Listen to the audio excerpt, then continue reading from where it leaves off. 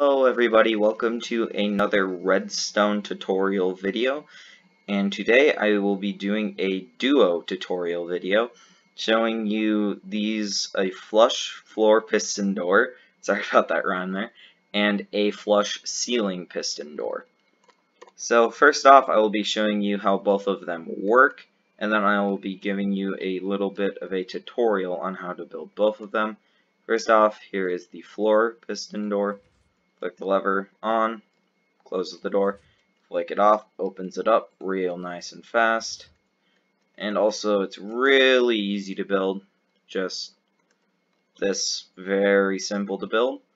If you you can normally just build it straight off of this, but if you want, I'm going to be doing a little bit of a tutorial later in the video.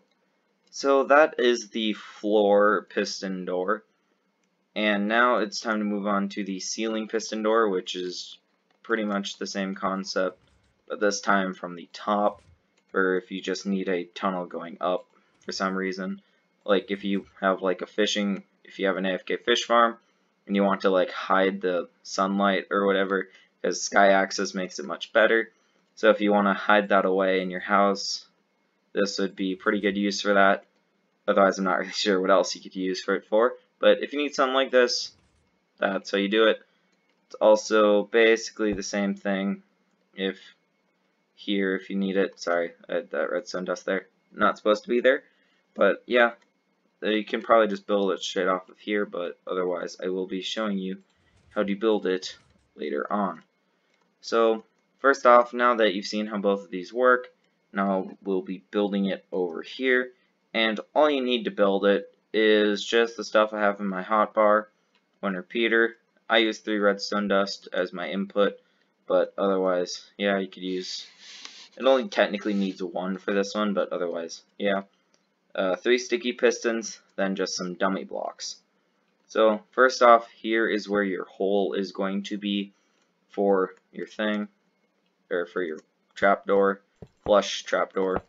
Uh, just gotta place in these blocks to make the tunnel a little bit easier to see.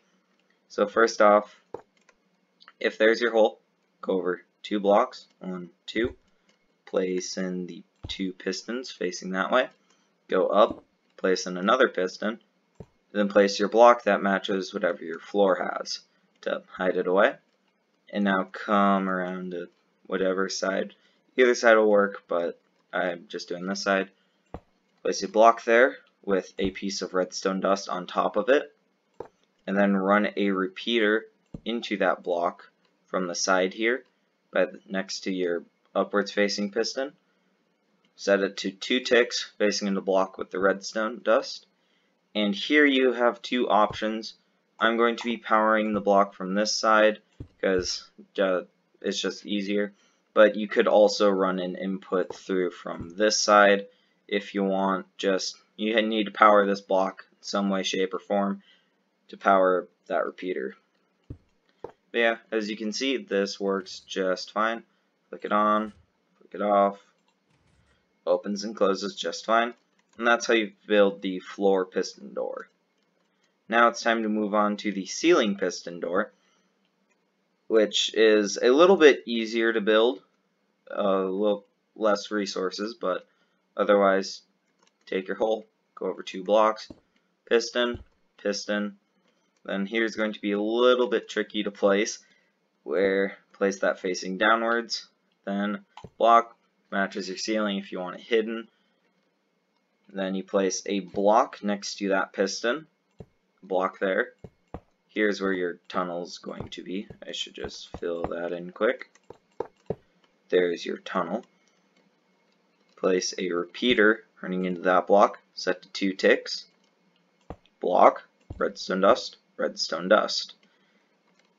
With this, it's kind of the same thing. You could have, I have the two redstone dust there, but you could have an input from this side also running into wherever you want, just some input to power that block to make this run. But as you can see, works just fine as a door. So that is all that I have for you today. I would like to thank all of you for watching this redstone tutorial, and I'll see you all in the next episode.